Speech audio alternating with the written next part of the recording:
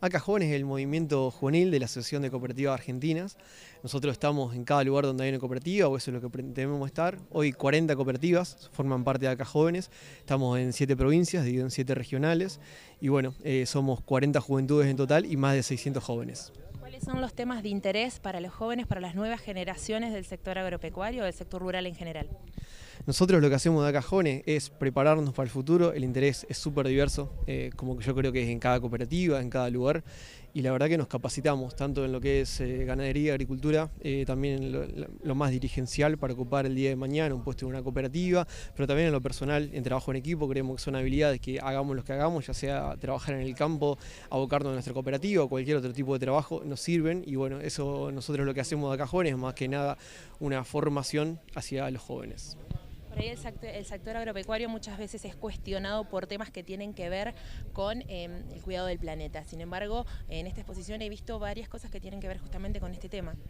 Sí, exactamente. Nosotros justamente estamos acá en la parte de sustentabilidad de ACA, viendo lo que es la huella de carbono, de todos los que vinimos a, la campo abierto, contando un poquito más de todo lo que hace ACA para mitigar quizá lo que sí, toda actividad conlleva un poco de contaminación, todo lo que hacemos nosotros, todo lo que hace cualquier empresa. Pero bueno, lo primero es tomar conciencia de qué es lo que hacemos, lo segundo es poder ver cómo reducir eso, como no sé, si vinimos en un auto, que seamos cuatro en el auto, no venir cada uno en nuestro auto,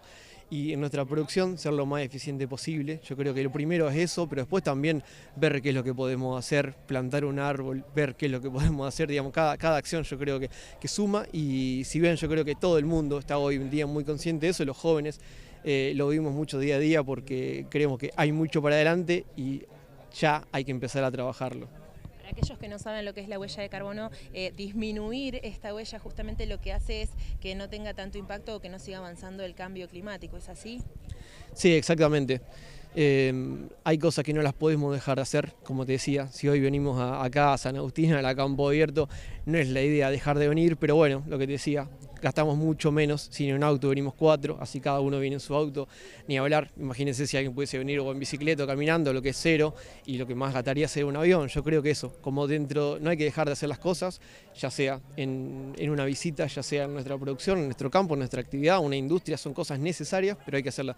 de la manera más consciente, tratando de reducir lo nuestro y bueno, si no por fuera, ver de qué manera podemos ayudar para contrarrestar el efecto que estamos teniendo gente joven es el futuro de todo nuestro campo y ya sabemos que es el motor del país. ¿Qué le dirías a aquellos que les gusta la actividad del campo, que quieren meterse o que tienen ganas de pertenecer o ver cómo se trabaja en ACA Jóvenes?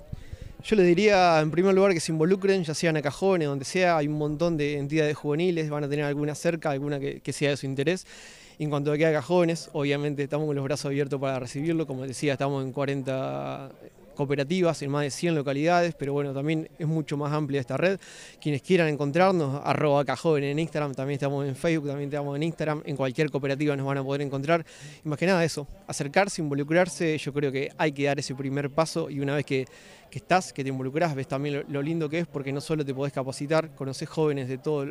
lugares, de distintos lugares del país, conoces distintas producciones y a lo largo de un tiempo terminás haciendo cosas que hasta sin saber te estás capacitando y que te va a servir el día de mañana, pero como decía, lo importante es empezar hoy y ver qué es lo que vamos a citar para mañana.